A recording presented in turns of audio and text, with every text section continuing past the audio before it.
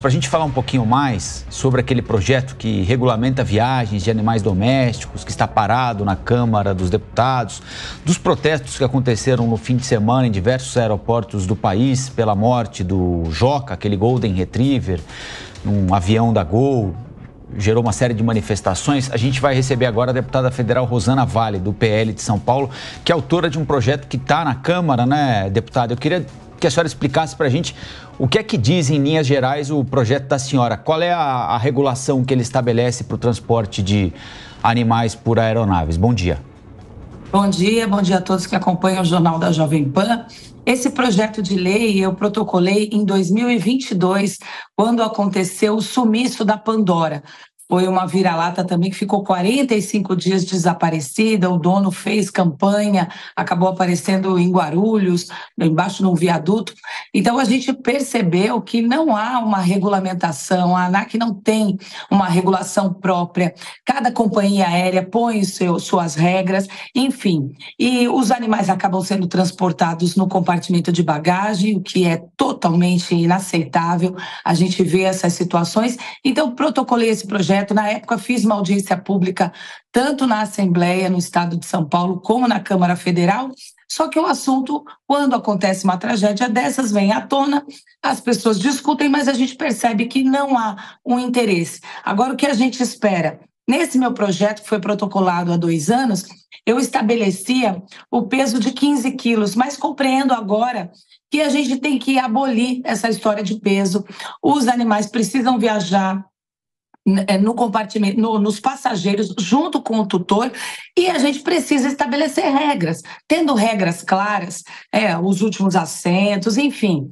Quem acompanha a logística da aviação, junto com as instituições que cuidam também do bem-estar animal, devem estabelecer essas regras para que a gente não é, presencie situações como essa que aconteceu com Joca, com o que aconteceu com a Pandora. Tem vários projetos de lei na Câmara Federal, mas a gente precisa encarar esse problema e fazer realmente uma mudança aqui no Brasil. Eu espero que nessa audiência pública e prevista pela ANAC, agora no dia 2 de maio, onde a população vai poder participar, vai poder dar contribuições, que a gente estabeleça de uma vez por todas regras claras para permitir que os nossos animais viajem ao nosso lado, é, é, com situações, com logística, ah, é, regras, por exemplo, se o animal vai de mudança, tem prioridade, enfim, quantidade de animais por voo, os últimos assentos, dá para estabelecer regras sim, para que a gente permita que os animais viajem com a gente. Agora, deputada, por que é tão difícil avançar essa pauta em relação ao transporte aeroviário? Vou falar pelo rodoviário, eu tenho PET, não vou falar por todas as companhias e nem vou citar a companhia que eu costumo é, comprar a passagem dela para viajar com a minha PET. Eu não tenho dificuldades. É, eu pago passagem para ela como pago para mim, no mesmo valor. E todas as exigências sanitárias, é, atestado médico, cartão de vacina, são solicitados. Eu apresento na hora de embarcar e a minha pet embarca comigo sem nenhum problema. Eu não sei se isso é regra em toda a companhia que faz o transporte rodoviário. Mas por que é tão difícil essa pauta avançar quando a gente fala em viagens de avião? É, então, porque não há o interesse das companhias, mas não há o interesse, cada um estabelece uma regra. Eu já vi, já viajei ao lado também, é aquelas, é, a caixinha fica embaixo do, do, assento, ou seja, aquilo limita, só é, cães, é, animais pequenos conseguem fazer esse tipo de transporte. Parece que algumas companhias, a maioria é até 10, 11 quilos. Isso é inadmissível. Quando eu criei o projeto, estabeleci 15 quilos, mas agora entendo que a gente tem que abrir esse leque é, tem que ser uma regra que parta da ANAC, para que todas as companhias possam seguir. As pessoas viajam ao lado, paguem a passagem, como você falou, o transporte rodoviário, em muitos casos, já é assim, mas não há essa disposição das companhias aéreas. Enquanto não tiver uma regra clara, uma regulamentação, e a gente tem que de vez abolir também é, a possibilidade dos nossos cães, dos nossos pets viajarem no compartimento de cargas. É inadmissível. É um lugar escuro, um lugar insalubre, é para carga, não é para animal.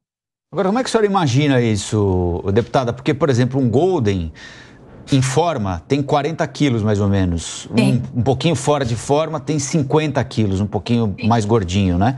É, com a caixa, Uh, se a gente pegar em consideração, levar em consideração uma aeronave dessas que mais fazem voos nacionais, com três assentos em cada fileira, o tutor teria de comprar a fileira inteira, né? Porque uma poltrona só é pouco para a caixa. Então, como é que faz isso?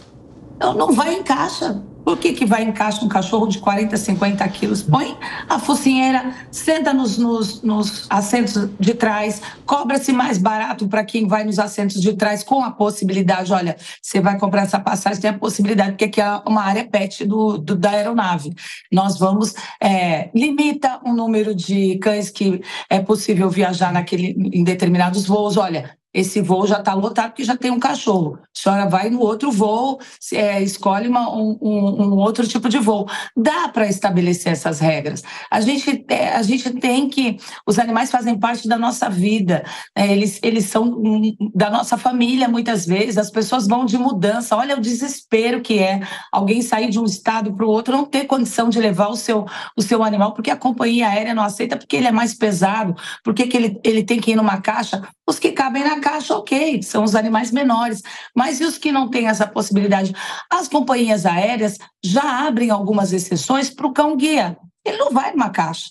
Então, por que não para todos os pets? Bom, a gente conversou aqui com a deputada federal Rosana Vale, do PL de São Paulo, autora de uma proposta para regular o transporte de animais em viagens de avião. Deputada, muito obrigado pela entrevista e até uma próxima. Obrigada, eu que agradeço. Esperamos que seja de uma vez por todas regulamentado esse transporte de animais do lado dos passageiros, que é o que a gente quer. Obrigado, bom dia.